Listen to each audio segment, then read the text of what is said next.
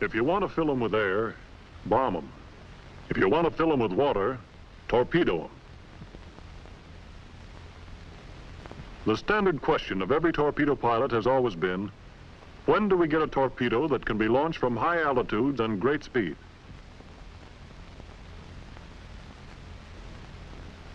The answer is that we have such a torpedo now. And here it is. Launched at 260 knots and 800 feet.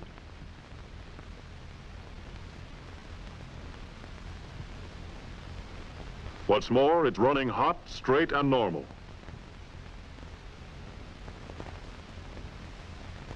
All torpedoes of the Mark 13 Mod 6, 7, 8, and 9 type look pretty much like the older models. So what has revolutionized the performance of the torpedo? The shroud ring, commonly called the ringtail, Mark 1 Model 0, in conjunction with a drag ring on the nose of the torpedo, does the trick. This is a steel ring welded to guide vanes of the new torpedo. Using this ringtail with a nose drag ring and wooden stabilizer, successful test drops have been made at 2,000 feet with a speed of 350 knots. Optimum performance is obtained at about 800 feet and 260 knots. The stabilizer is secured to the ringtail with wooden dowels which shear on contact with the water. The drag ring has two primary functions, to aid in air stabilization and to decrease the impact shock about 40% on hitting the water. This is especially useful in cases of extremely high altitude drops. In a torpedo drop, any deviation from true air trajectory is liable to cause damage on impact. The drag ring helps to eliminate pitch and yaw. Like the stabilizer, this disintegrates when it hits the water. A valve, the water trip delay valve, prevents the torpedo turbines from burning up during its long air travel. On leaving the plane, the torpedo is operating only by compressed air. Impact with the water trips the valve, starting normal fuel operation. This valve is secured with wire to prevent the airstream from springing it.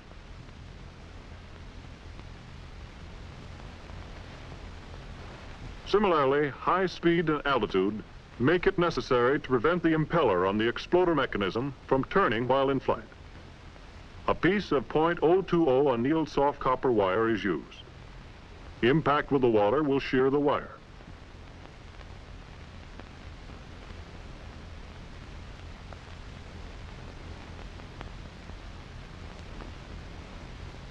At high altitudes and in cold climates, special precaution must be taken to ensure a sufficient amount of antifreeze in the water chamber of the torpedo. BUORD instructions should be followed.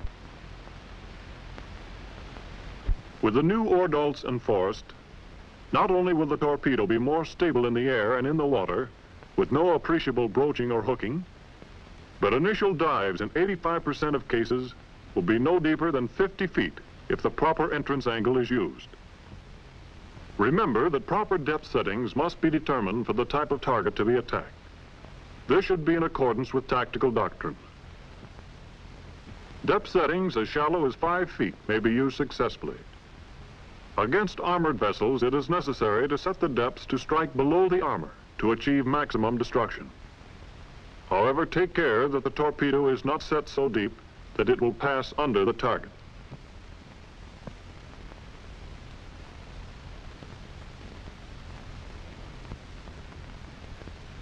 Recent statistics show that of 2,000 torpedoes dropped under varying conditions, about 92% ran hot, straight, and normal. And in combat, the percentage of hits with torpedoes is greater than that of any other form of attack against shipping. And experts have figured that the plane is now from 40 to 50% less vulnerable to enemy anti-aircraft fire when using the new recommended high-speed, high-altitude approaches. Torpedoes were formerly dropped at low altitudes and low air speeds, so air travel was nearly negligible. However, using increased speed and altitude combinations naturally increases air travel. The old axiom of releasing at 1,000 yards does not hold water. In many cases, the air travel alone is 1,000 yards or more. At present, the torpedo is set to arm with the run of at least 260 yards. However, an additional 140 yards is added in alt sighting tables to compensate for possible torpedo and pilot error. So no matter what speed altitude combinations are used, the torpedo should hit the water about 400 yards from the estimated point of contact with its target. A chart to serve as a torpedo launching guide has been published in Naval Aviation Confidential Bulletin for July 1944. A combination of any two coordinates gives the other three. For example, enter the chart with a dropping speed of 260 knots and a dropping altitude of 800 feet. This will result in an entrance angle of about 28 degrees a time of fall of 7 seconds, and a horizontal distance of 3,000 feet between points of release and water entry.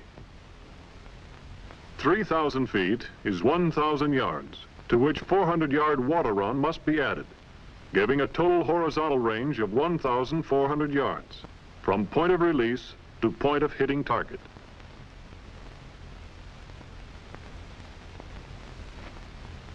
When a torpedo is dropped, the crosswind acting on the plane at release imparts a motion to the torpedo, which acts on it throughout its time of flight and is in addition to the motion of the plane. The same chart can also be used for determining the amount of crosswind effect on a torpedo drop. So at 800 feet, the torpedo takes about seven seconds to fall. A simple formula works out the rest of the problem. Crosswind effect is equal to the time of flight of the torpedo in the air in seconds times the velocity of the wind in feet per second. In making allowances for crosswind, the only effect to be considered is that on deflection. The effect on range may be disregarded. Always apply wind allowance on the side from which the wind is blowing. Disregard winds with relative bearings of less than 30 degrees or more than 150 degrees. Winds on the bow or on the quarter have only a slight effect on deflection, but winds on the beam may require important corrections which must be made. The following tables present practical aiming allowances. Mount these tables on cards where they will be easily available to the pilot. For winds of varying velocities on the bow or quarter, for two different sizes of ships, these allowances in ship lengths should be made. For winds on the beam, note the great allowances and ship lengths which must be made. Get these tables from your instructor and study them. Tables for aircraft torpedo sighting and launching data have been prepared by Buord and published as training literature by CNO. Let's break down Table 4 and see how it works. Altitude of 800 feet, estimated target speed 20 knots, and its length about 600 feet. Aiming point is 1.15 ship length ahead of the bow. Your own ground speed is 260 knots. Slant distance to point of impact should be 1,457 yards. Entrance angle of the torpedo will be 27 degrees and 20 minutes. You are approaching with a target angle of 60 degrees. So your radar slant range from the target at point of release should be 1,590 yards. Problems with other factors can be worked out in similar fashion. This chart should include data for shallow water drops using these combinations of airspeed and altitude of release. Here, speed in knots is roughly equivalent to altitude in feet. Radar slant ranges are roughly 700 yards less than those recommended for open sea drops. The toughest part of the new aiming problem is releasing the torpedo at the proper range. Primary dependence must be placed on radar ranging until the pilot becomes proficient in visual ranging. A tactical use of radar for torpedo dropping can be to locate the target and commence the approach above the clouds. Then dive through the clouds to make a visual attack. Another possible use is attacking anchored ships, using radar for ranging as well as locating, with a drop through the low overcast. A torpedo pilot may in general drop and hit within a wide band of ranges. But if the range is too long, the torpedo water run will be longer than desired, and the average torpedo speed will be consequently slower, so that the torpedo may pass astern of the target or allow the target sufficient time to maneuver away from the torpedo. Likewise, dropping at excessively short range is just as bad, since the torpedo will hit the water too close to the target and so cannot be properly armed before hitting the target, if it hits at all. To emphasize the importance of ranging, look at what happened in one combat mission. The returning pilots reported that they had dropped at ranges of between 1,000 and 1,600 yards, and at altitudes of from 275 to 300 feet. But actual photographs proved that the ranges averaged 2,800 yards and the altitudes 190 feet. What a waste. And naturally, there were no hits. Remember that ranges are usually underestimated so plan to counteract this tendency. Dropping altitude determination is of course assisted by instrumental aids such as the barometric and radar altimeters. However, neither of these is totally dependable under varying conditions of atmospheric pressure, technical limitations, and aircraft speed, altitude, or angle of glide. The seaman's eye method developed by training often must be used, although with a new torpedo, Altitude control is not too critical except in shallow water drops.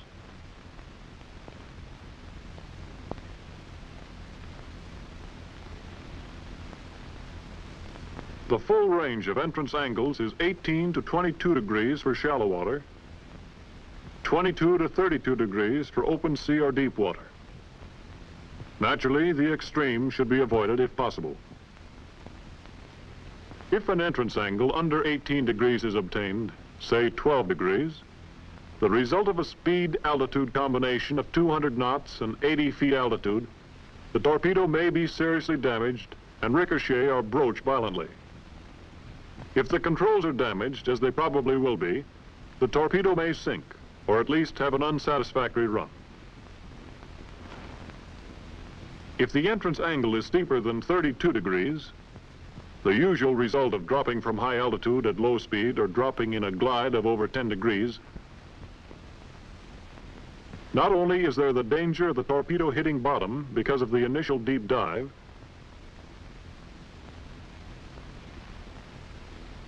but the torpedo may stub its toe, which may cause structural damage or damage the steering mechanism, causing premature sinking or a very erratic run.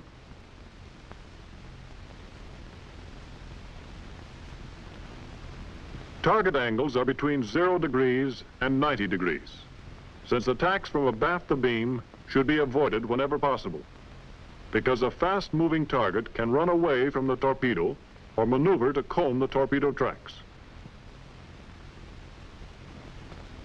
In any case, small errors in range estimation on stern shots will cause misses that might have been hits with the same error on bow shots. Also, stern approaches will expose pilots to AA fire for a longer time, as closer drops must be made. Obviously, it is best to drop at an angle where the longest target is offered to the torpedo at impact. Perfect conditions would be a drop in which the torpedo ran at an angle of 90 degrees to the path of the ship at contact, or as close to that as practicable.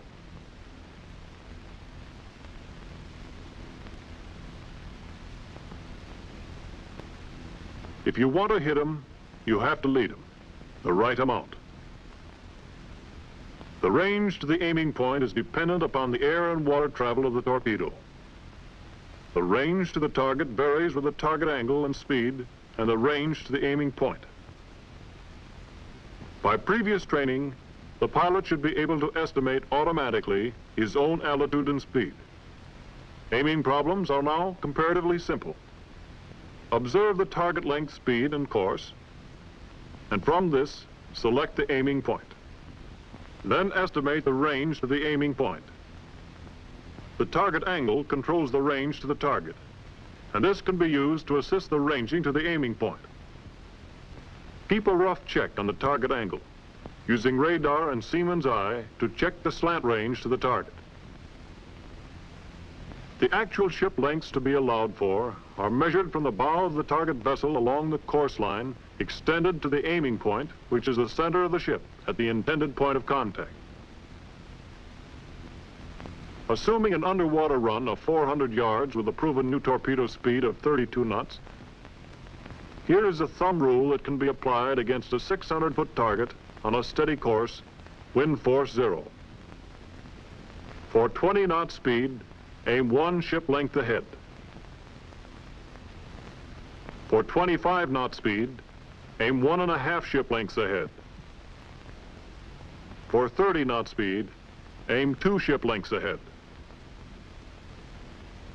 For a 400-foot target vessel under similar conditions, the aiming allowance is one ship length more than for the 600-foot target. It figures out that one ship length should be allowed for each 10 knots of target speed from 20 to 30 knots. So for 20 knot speed, aim two ship lengths ahead. For 25 knot speed, two and a half ship lengths. For 30 knot speed, three ship lengths. Study enemy ship characteristics and data on bow waves and wakes to determine speed. Under torpedo attack, it can be assumed that ships will use full power in attempting to maintain top speed. However, remember that any ship will gradually lose speed in a sustained turn. This loss is important and must be considered. Circling ships will have a deceptive weight due to the churning of the propellers and the position of the rudder. When selecting aiming points for maneuvering targets, three additional factors are involved. The direction of the turn, the degree or rate of turn, and the decrease of speed of the target in the turn. In this example, assume that the target is in a developed turn and is using full power and full rudder of 35 degrees.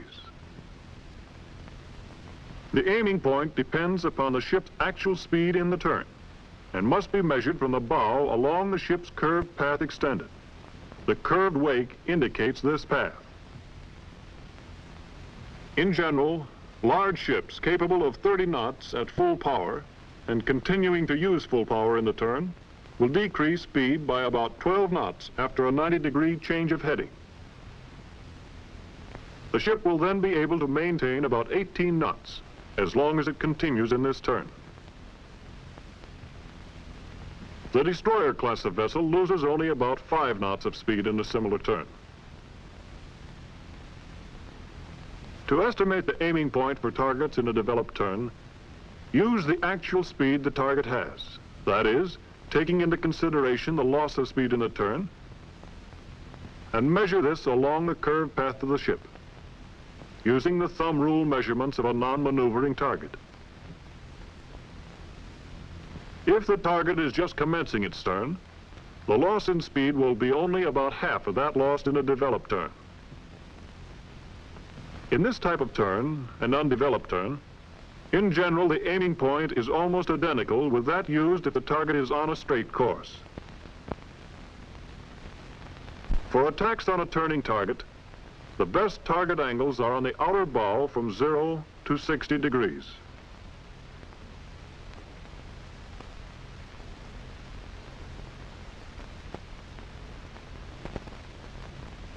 On the inner beam, the best target angles are between 90 and 150 degrees. In any case, the actual target size presented to the torpedo is the controlling factor. A U.S. Navy light cruiser using full rudder of 35 degrees and 30 knots initial speed, it takes the rudder about 23 seconds to become fully applied and about 10 more seconds for important changes in the ship's heading and position to take place. The use of high speed and correspondingly high altitudes naturally calls for entirely new tactics, and therefore a new concept of training. So that the pilot is equipped with the knowledge and experience to put these new tactics to use. Training for torpedo dropping should follow a fairly definite pattern. First of all, study and talks with experienced pilots and crewmen. All available BUORD publications and official dispatches should be considered carefully. The pilot should then commence training with dummy runs. After making proper dummy runs checked with the F-46 camera, he should then use concrete blocks or dummy torpedoes. This can be followed by live torpedo drops, all with single planes. As many torpedoes as possible should be dropped. Statistics indicate that for best efficiency, the average pilot requires at least six single live drops before graduating to group work. Strengthened exercise heads, as provided by BUORD, should be used. Sections of three or four planes should then work together, followed by practice with divisions, then with squadron attack, winding up with coordinated attacks with fighters and dive bombers. In each case, whether single planes, sections, divisions, or squadrons are used, dummy runs should be made in sufficient number to ensure best results for the final live runs. During all of this, trained pilots should be used as observers and consulted after each run. It is helpful to think of the attack in three phases.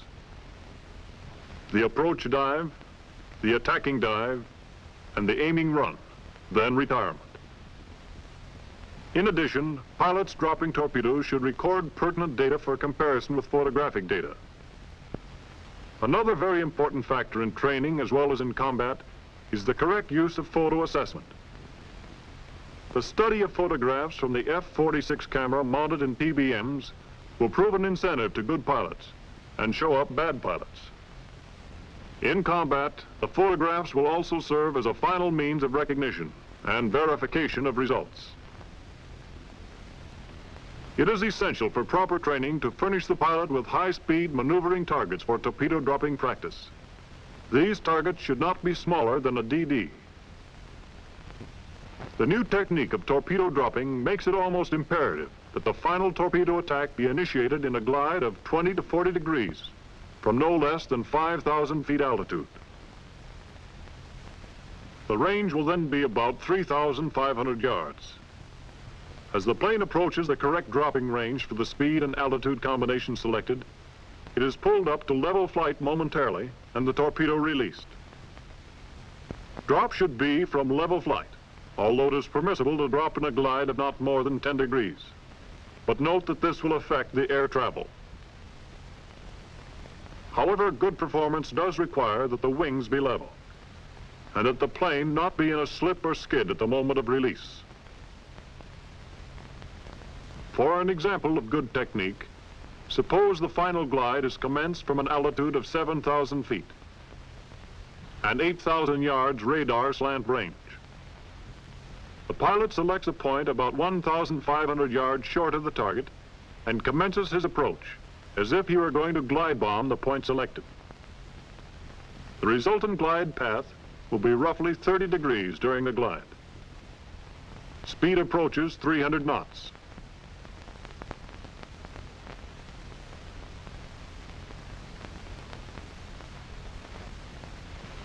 Target maneuvers are offset by changing direction of glide as necessary.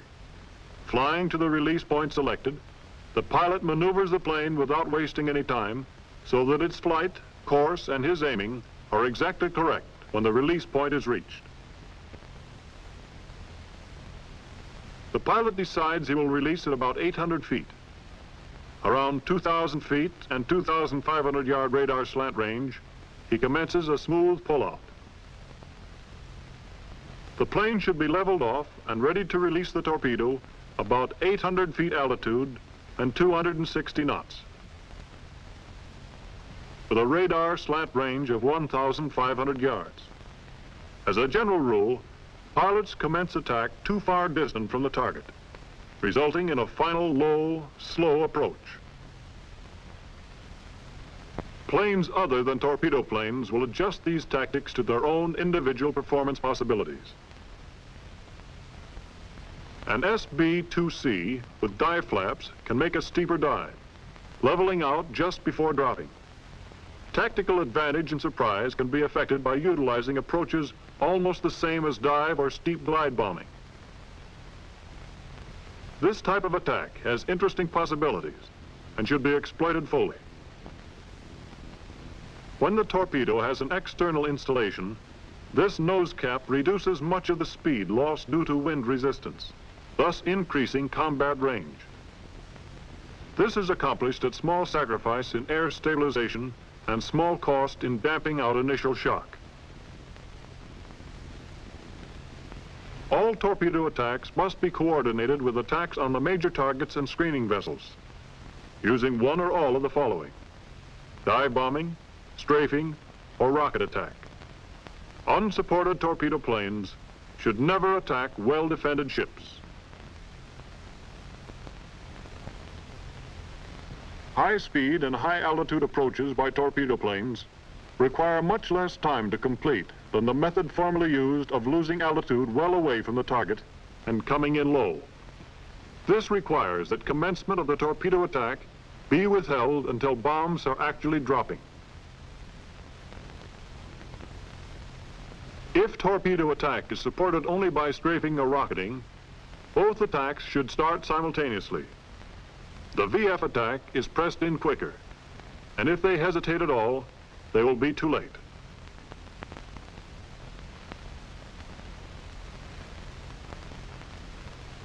This is not only for diversion, but some anti-aircraft guns may be put out of commission, and possibly the torpedo planes will be offered a target whose speed and maneuverability has been greatly reduced.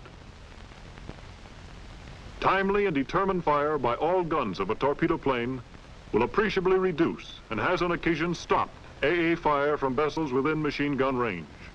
Concerted attacks by supporting VF will also assist torpedo planes in retirement. The torpedo is still the most potent single weapon of destruction against enemy shipping, but only if used properly. It's up to the pilot to see that it is used properly, making the most use of these recent improvements. This will be the result.